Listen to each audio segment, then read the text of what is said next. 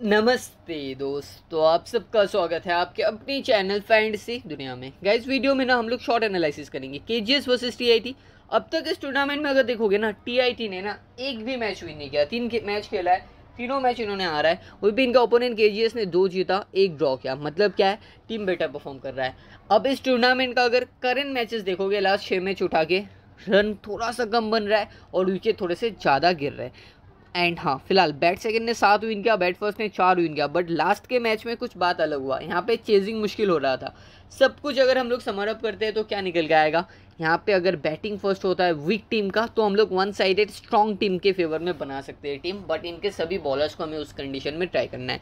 तो मैं स्टार्ट कर रहा हूँ वीडियो आप लाइक करके स्टार्ट रखना ताकि जो मोटिवेशन वो बना रहे। And final update for future update not only for this match future matches के लिए भी टेलीग्राम जुड़ जाना। वीडियो के डिस्क्रिप्शन या फिर कॉमेंट सेक्शन में जो लिंक मिलेगा, उससे ईजिली टेलीग्राम ज्वाइन हो सकते हो। और अगर लिंक आप नहीं किया तो सर्च कर सकते हो एट द रेट लगा के टीम से एफ़ लिंक लॉयल ज़्यादा होता है सर्च करना है तो केयरफुली कहीं पे स्पेस मत लगाओ सर्च करो ज्वाइन हो जाओ, कोई पेड ग्रुप का झमेला पे मत जाना, ठीक है?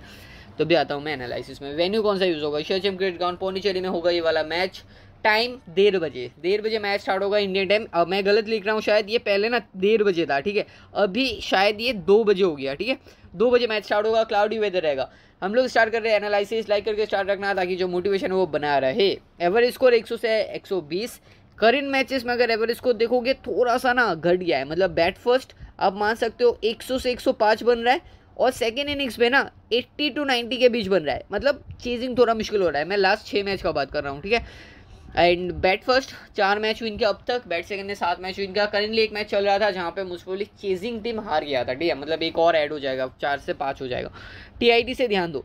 इनसे टीम क्या कर रहा है? अब तक एक भी मैच विन नहीं किया। क्योंकि ना इनके जो बॉलिंग यूनिट है, वो अब तक चला नहीं है, ठीक है? इनके बॉलर्स के पास विकेट देखो, दो एक दो एक, दो ज़ीरो मतलब कोई जो कंसिस्टेंसी होता है ना, सीधा गुरविंदर को छोड़ के किसी के पास आया नहीं तो सीधा आपके लिए मस्ट पिक हो गया, क्योंकि फ़िलहाल विकेट्स भी ज़्यादा गिर रहे हैं। बॉल फ़र्स्ट होता है, उस कंडीशन में विजय को लो। बॉल फ़र्स्ट होता है, उस कंडीशन में उज्जवल कुमार को लो। बॉल सेकेंड होता है तो उस कंडीशन में मैं सीधा गुरविंदर को लूँगा। बाकी प्लेयर्स को अकॉर्डिंग टू मैच मैं यूज़ करूँगा। मतलब कौन से प्लेयर यहाँ से मुझे अल्बिन मैथ्यू थोड़ा एक्सपीरियंस ज़्यादा है। तीनों मैच में बॉलिंग अच्छा किया। अब देखो क्या करेगा ना, जनता क्या करता है? पहला दो मैच में अच्छा परफॉर्मेंस के बाद ना उज्जवल के पीछे जनता भाग रहा था। बट क्या हुआ? फाइनल मैच में लास्ट मैच में अल्बिन मैथ्यू ने अच्छा खेला। और इनका अगर बहुत केयरफुली देखोगे, दो सत्रह, दो ओवर में सत्रह खाया, दो ओवर में उन्नीस खाया, दो ओवर में बारह। और इनका देखो, दो ओवर में अट्ठाईस खा गया। फिर यहाँ पे तेरह खाया, इन्होंने एक ओवर में सत्ताईस खा गया। मतलब क्या है कंसिस्टेंसी किसका ज़्यादा है अलविन मैथ्यू का। तो अलविन मैथ्यू मेरा सेकंड पिक रहेगा बॉलिंग सेक्शन से। थर्ड पिक कौन रहेगा?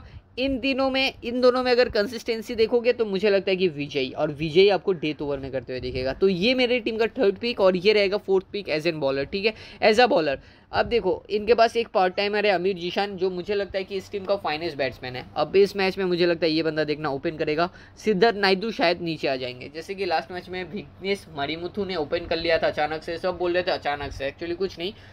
ओपनर्स फ्लॉप हो रहे थे एक दो मैच से तो उनको बोला गया और बिकॉज़ सीनियर प्लेयर है तो ओपनिंग आ गया था, खुद ही कैप्टन भी है। तो इसमें मुझे लगता है Amir Zeeshan as an opener play कर सकता है। फिर आगे मत बोलना कि ये आ गया आ गया कैसे। मुझे लगता है एटलीस्ट वन डाउन तो खेल ही लेगा, ठीक है? वन डाउन या फिर ओपन कर लेगा अमीर जीशान अच्छे प्लेयर है बैक करना है।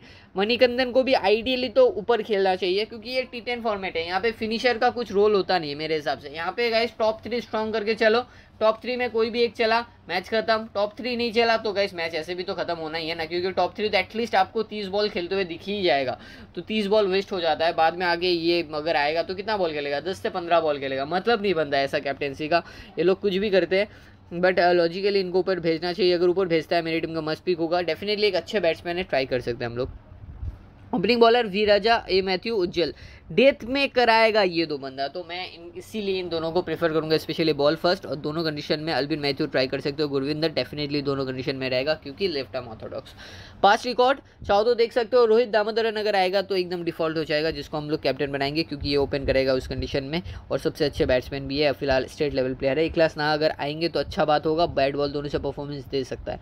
ठीक है। के से ध्यान दो अब। अरविंद राज ओपन कर रहे हैं, कमलेश स्वरन के साथ, भूपेंद्र चौहान। इन्होंने भूपेंद्र भूपिंदर चौहान ने बहुत अच्छा खेला इस सीज़न में। कंसिस्टेंटली विकेट निकाल रहा है one down batting default captain ज़्यादा सोचना नहीं है। और डेथ ओवर में बॉलिंग करा लेगा या फिर बैटिंग कर लेंगे वार्ड डाउन तो बढ़िया प्लेयर है। कमलेश सोरेन भी एक अच्छा परफॉर्मेंस दिया है कैप बनाने लायक है। Arvind Raj very decent pick है, तीन हो गया हमारे पास। अब देखो, सतीश जहांगीर को मुझे पता नहीं लास्ट मैच में ना इनको टीम ने शायद बॉलिंग ही नहीं दिया होगा, ठीक है? शायद नहीं, इनको बॉलिंग नहीं मिला और बैटिंग भी नहीं मिला। अब क्यों टीम इससे बॉलिंग नहीं करा रहा है, पता नहीं। अच्छे प्लेयर है, मैं नीचे रिकॉर्ड बताऊँगा। थिवागर जी बॉलिंग करना नहीं चाहिए बॉलिंग कर रहा है कंसिस्टेंटली राजाराम ये बंद हो जाएगा स्पेशली वेल बॉल फ़र्स्ट क्योंकि राइट आर्म मीडियम और डेथ ओवर में यूज़ हो सकता है। कौन? राजाराम ठीक है? अब नीचे से तजवीर ने अच्छा बॉलिंग किया और इनको विकेट कब मिला है? पता है, दो विकेट लास्ट मैच में डेथ ओवर में विकेट मिला है। मैच आपको उससे पहले वाला मैच में इनको पिक किया था, वहाँ पे पिटाई हो गया था तो जनता को लग रहा था, यार, क्यों इसको पिक किया था? देखो अपना लॉजिकली खेलो। बाकी प्लेयर्स के ऊपर है।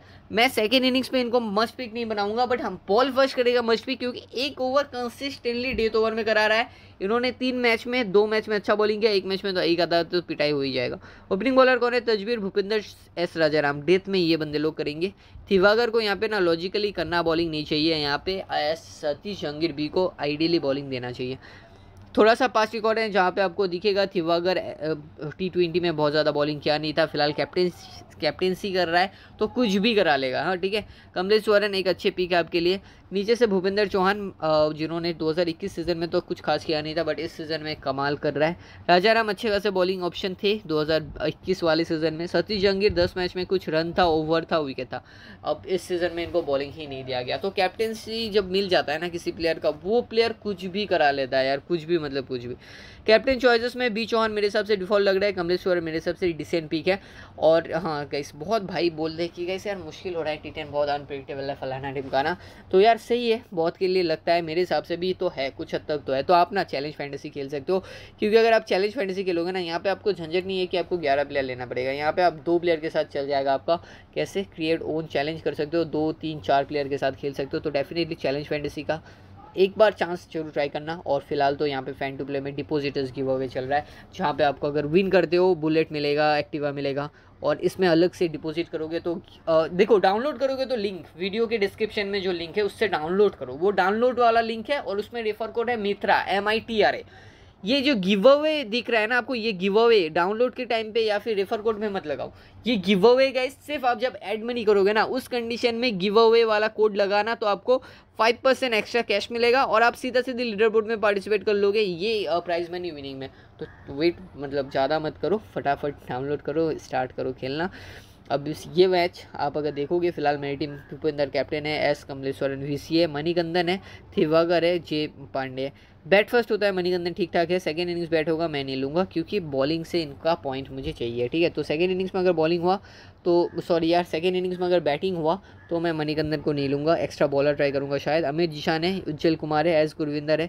A A A Albin Mathew Tejvinder Singh. मैंने आर विजय को ड्रॉप किया, मैं उसको ट्राई करना पसंद करूँगा, ठीक है? तो ये रहेगा फ़िलहाल इस मैच का अपडेट इस मैच का जो मैच का अपडेट टेलीग्राम में मिलेगा। जुड़ जाना, वीडियो पसंद आए तो लाइक कर देना। थैंक यू एस मिलते हैं मैच टाइम पे।